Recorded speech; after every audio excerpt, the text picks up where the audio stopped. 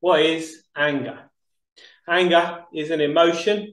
It's part of the fight or flight response.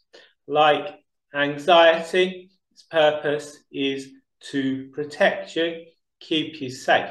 So when you experience anger, you may experience sweating.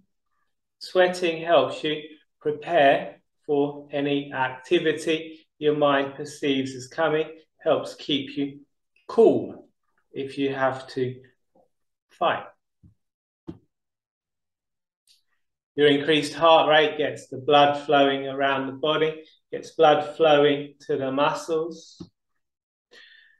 And people who are constantly in the fight or flight state are going to have a reduced immune response.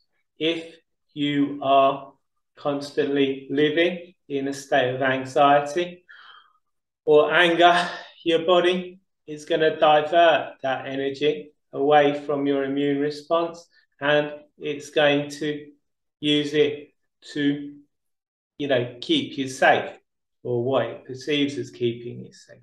So people who experience a lot of anger or anxiety often have uh, more colds, more illnesses.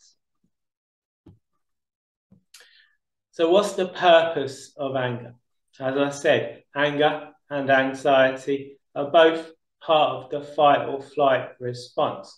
And when the fight or flight response is triggered, our body releases all kinds of hormones to give us energy so we can either fight back or run away.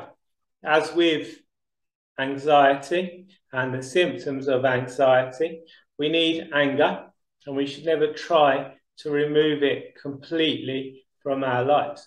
The purpose of anger is to allow us to defend ourselves uh, properly, defend our boundaries, our property, and our dependents.